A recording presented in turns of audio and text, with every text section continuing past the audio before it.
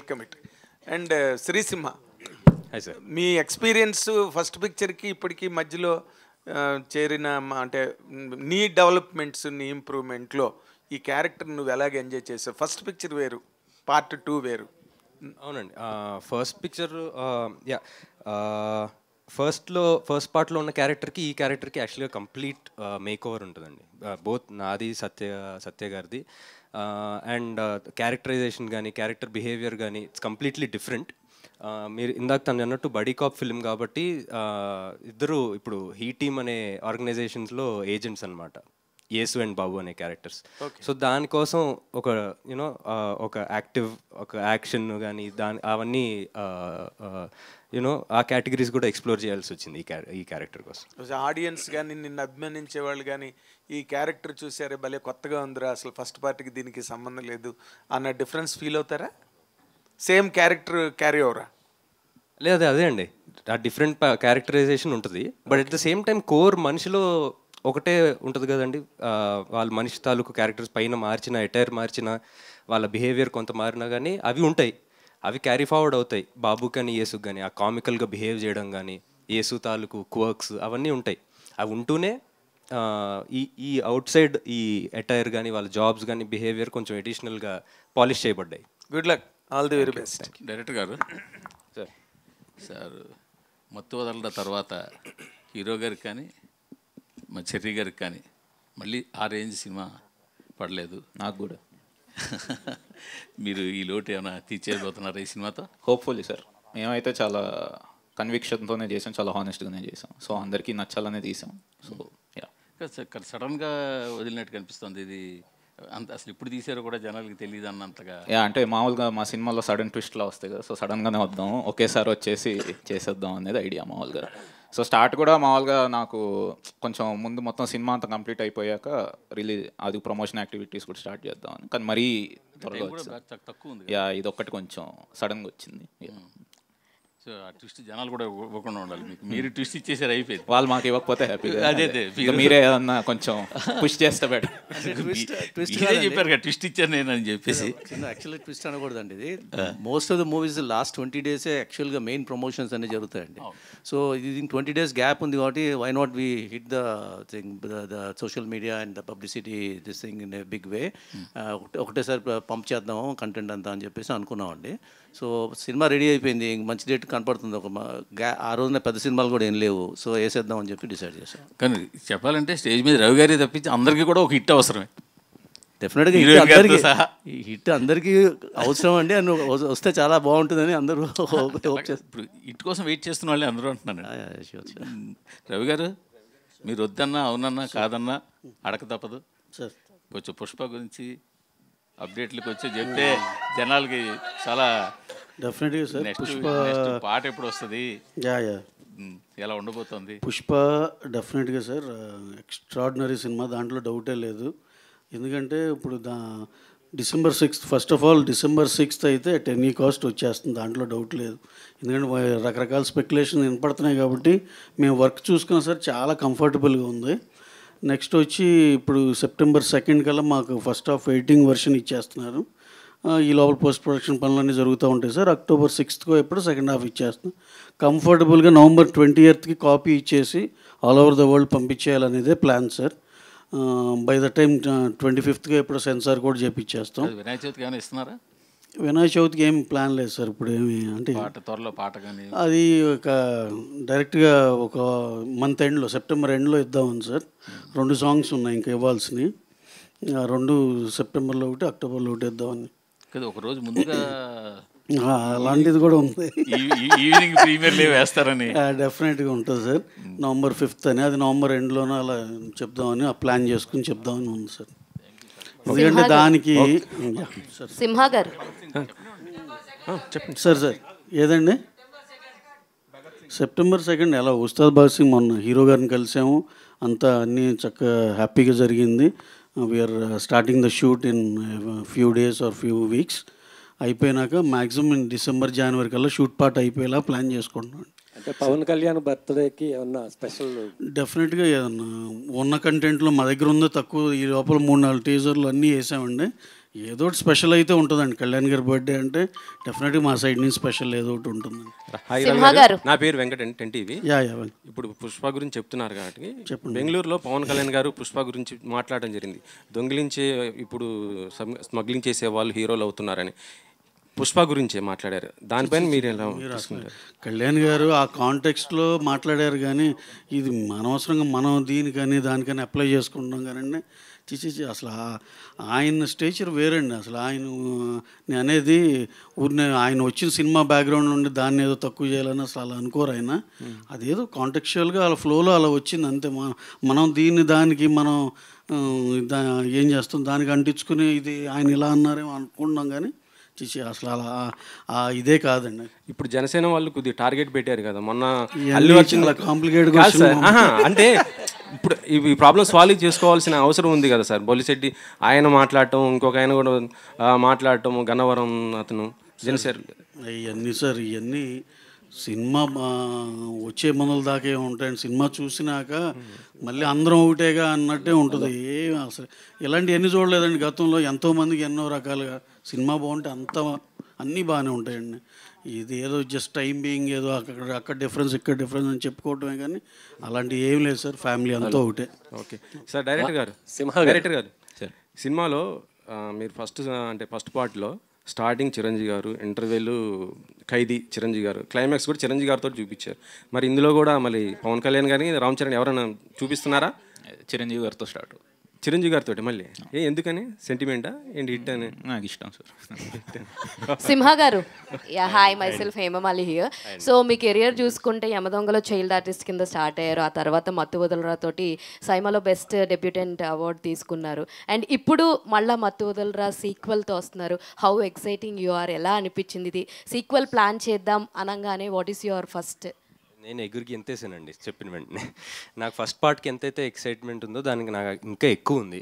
Because అంటే already తెలిసింది ఇది. జనాలకి ఎంత ఇష్టమైందో తెలిసింది. సో దాంట్లో మనం ఇంకా ఎక్స్ప్లోర్ చేస్తున్నాం అంటే ఇందాక యాక్చువల్గా రితేష్ అన్నట్టు మేము మేము ఎప్పటి నుంచో ప్రొడ్యూసర్స్ కానీ మేము కానీ మేము వీర్ హోపింగ్ దీన్ని మళ్ళీ ఇంకా ఎక్స్ప్లోర్ చేయాలి. అప్పుడు దీనికని ఇంకా పుష్ ఇవ్వాలని. బట్ హీ వాజ్ నాట్ అంటే ఈ ఈ దేని రాసుకునే స్పేస్లో లేడు. తను వేరే దాంట్లో ఉన్నాడు. సో న్యాచురల్లీ ఈ మత్తోదలరా అనే టూ ఐడియా వచ్చి దాన్ని ఆ స్టోరీ వచ్చి డెవలప్ చేశాడు. And we're all very excited వినగానే తెగ నచ్చేసింది. సూపర్. ఫరియా గారు. సో లైక్ ఇందులో మీరే అన్నారు ఇందాక చెప్తున్నప్పుడు వై యూ చూస్ మీ అని చెప్పేసి అని అడిగాను అని అన్నారు. And compare to your back ఫిలిమ్స్తో పోల్చుకుంటే వన్ వెనక్కి తిరిగి చూసుకుంటే Jathi Ratnalu is the biggest hit for you దాని తర్వాత ఆశించిన స్థాయిలో ఏది రాలే? వాట్ యూ థింక్ అబౌట్ మత్తు వదలరా టూ ఎలా ఉంటుంది అనుకుంటున్నారు మీ కెరియర్లో? అండ్ ఇందులో నాట్ ఓన్లీ యాక్టింగ్ మీరు ర్యాప్ పాడాను అన్నారు డ్యాన్స్ కొరియోగ్రాఫ్ చేసి అన్నారు. ఇవి మీరు మీ రియల్ లైఫ్లో చాలా ఇంట్రెస్టెడ్గా చేస్తున్నటువంటి పార్ట్స్ సో ఇవి ఆన్ స్క్రీన్ పెట్టడం ఎలా అనిపించింది? ఒక బేబీని ప్రపంచంలో తీసుకొచ్చాను అలా ఫీలింగ్ వచ్చింది. అండ్ నిజంగానే డైరెక్షన్లో ఒక పవర్ ఉంది. అంటే it's it is very different from acting or dancing or being on screen when you're creating something ఒక వేరే లెవెల్లో ఆ ఫీలింగ్ వచ్చేస్తుంది. So I think I experience just small bit of that and I'm very grateful about it యూజువల్గా నేను expectations ఎక్కువ పెట్టాను anyway from anything so that I'm surprised when it is uh, um, come out well. Outcome bag surprising uh, and then lekpote okay, not disappointed extra. But the main thing is that all of us had so much fun kada. So in this in this phase of uh, cinema going up and down, nobody has any idea what is working, what is not working. So uh, honestly, we are just excited that we did our best and we had a lot of fun. You have any stunts in this fights లాంటివి ఏమైనా చేశారా? అవును అవును. ఒక four five days మంచి fight sequence పెట్టారు. Full I think first time చేశాను ఇంత ఇంత పెద్ద ఫైట్ సీక్వెన్స్ కానీ ఐ ఫీల్ లైక్ ఈ ఈ ఈ సెగ్మెంట్ ఈ జానర్ని మంచిగా ఎక్స్ప్లోర్ చేయొచ్చు. I think action is something that really excites me director గారు హాయ్ సార్ సార్ టూ థౌజండ్ నైన్టీన్లో నైన్టీన్లో వచ్చింది కదా మత్తు వదలరా? అప్పుడు మీరు ఒక ఇది సీన్ కూడా జీవించారు అది హోమ్ గార్డెన్ లాగా దాన్ని డెవలప్ చేయడం అది. కానీ ఇప్పుడు అయితే తెలంగాణ గవర్నమెంట్ కూడా కొంచెం సీరియస్గా అయింది ఇట్లా ఇష్యూస్లో సో ఇది సొసైటీకి కొంచెం చెడ్డగా ఉంటుంది కదా. మీరు పార్ట్ టూలోకి వచ్చేటప్పటికి గన్ కల్చర్ అనేది కొద్దిగా గన్స్ ఎక్కువ ఉన్నాయి. సో ఈ దీంట్లో ఎంతవరకు బ్యాలెన్స్ చేస్తారు? ఓన్లీ ఎంటర్టైన్మెంట్ కోసం తీసుకున్నారా ఈ పార్ట్స్? సార్ గన్స్ అంటే వీళ్ళు పోలీస్ సార్. పోలీస్ దగ్గర గన్స్ ఉంటాయి. ఇంకొకటి మా సినిమా టైటిల్ మత్తు వాడరా కాదు మత్తు వదలరా. బట్ సో ఏదైనా అందులో కూడా పార్ట్ వన్లో కూడా కొంచెం హోమ్ గార్డెన్ చేశారు అలా ఉండదు సార్. ఇది ఇంకొక వేరే అందులోనే ఇంకొక పార్ట్ ఉంటుంది. అది సినిమా చూస్తే తెలుసు సో చాలా ఫాస్ట్గా త్రీ మంత్స్లో కంప్లీట్ చేశారు కదా shoot four four months three months four మంత్స్లో షూట్ సో. మంచి ఇది ఉంటుందా యాక్షన్ సీక్వెన్సెస్ ఎక్కువ ఒక అంటే ఎలా చేయగలిగారు? అంటే బేసిక్గా ఇది మేము నవంబర్ నుంచి ప్రీ ప్రొడక్షన్ స్టార్ట్ చేసాం సార్. సో ఫెబ్ ఎండ్ నుంచి షూట్ స్టార్ట్ చేసాం. సో మొత్తం ముందే పర్ఫెక్ట్గా ప్లాన్ చేసి యాజ్ పర్ స్కెడ్యూలే కంప్లీట్ చేసాం. ఒక టైం లైన్ ఇలా పెట్టుకొని చేసాం అనమాట సో అందులో ఉన్న యాక్టర్స్ కూడా బేసిక్గా సునీల్ గారు కానీ అజయ్ గారు వెన్నెల్ కిషోర్ గారు వాళ్ళు కూడా చాలా బిజీ ఉన్నా వాళ్ళ డేట్స్ తీసుకొని వాళ్ళ షూట్స్ అన్ని అంటే ఏంటంటే పర్ఫెక్ట్గా ఒకటి ముందే ప్లాన్ చేసి చేసిందే. సో దాని వైజ్ అయితే రితేష్ గారు సార్ సింహ గారికి ఇద్దరికి కూడా సార్ ఈ సినిమాలో హీ టీమ్ అని పెట్టారు. అవును సార్. షీ టీం తెలుసు మాకు ప్రభుత్వాలు పెట్టే. అంటే మగజాతిని కాపాడడానికి మీరు ఏమైనా హీ టీం లాగా ఏమైనా చేశారా? అలా కానీ బేసిక్గా హీ టీమ్ ఫుల్ ఫామ్ వచ్చి హై ఎమర్జెన్సీ టీమ్ అండి. సో ఒక హై ఎమర్జెన్సీ కేసు అని ఇది ఒక అంటే మామూలుగా ఫిక్షనల్ ఇది అంటే మధ్యలో సత్య ఈయన కూడా హీ అనేది ఒకటే చూపించారు. అవునవునవును. ఆ, దానికోసం. సో బేసిక్గా ఏంటంటే ఒక ఫిక్షనల్ ఒక ఏజెన్సీ లాగా అనమాట. So high emergency team. So high emergency case ఏవై ఉన్నాయో వీళ్ళు డీల్ చేస్తూ ఉంటారు. సింహ గారు చెప్పండి. హీ టీం గురించి రాజమౌళి గారు ఏమన్నారు?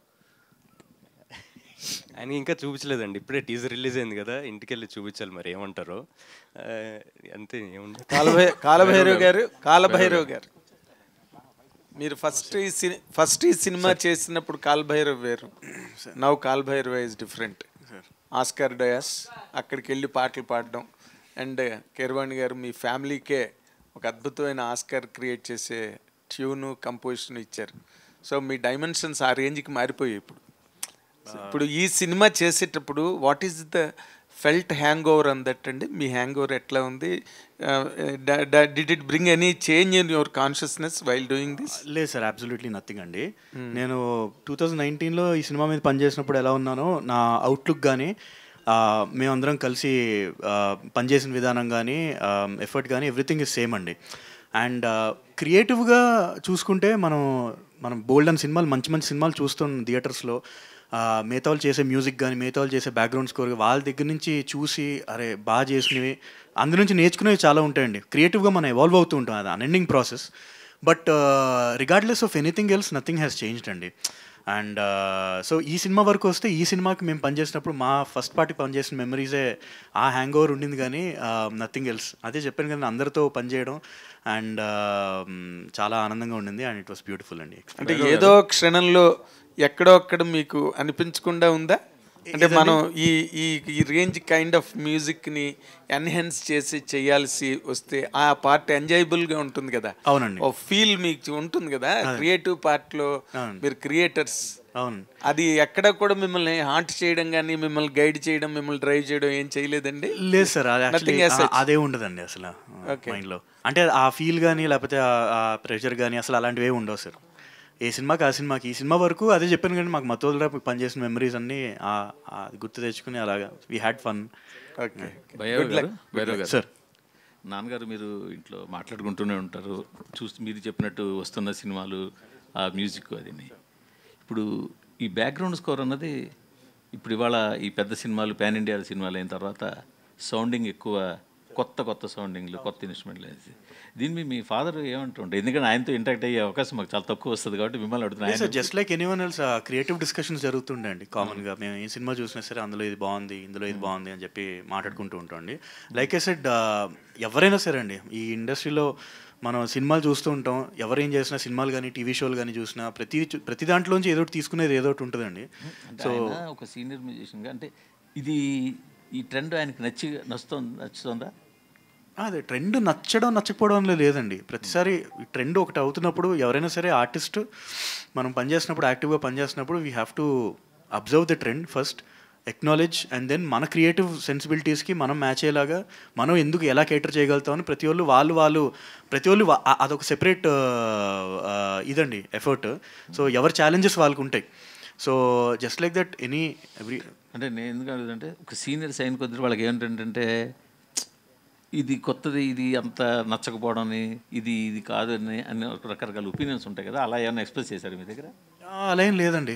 అలా ఏం లేదు. Just like just like set every ఆర్టిస్ట్కి ఎలా ఉంటుందో అలాగే ట్రెండ్ ప్రకారం వీ హ్యావ్ టు ఇది మహేష్ బాబు గారి సినిమాలో మీ మీ వంతు ఏం ఉండబోతుందని ఏమైనా సూచాయిగా చెప్పారా రాజమౌళి గారు మీకు? లేదండి. లేదు ఇంకా ఏమి? చెప్పలేదు ఇంకా ఇంటి ఇవ్వలేదు మీకు ఇంకా. ఓకే పరే గారు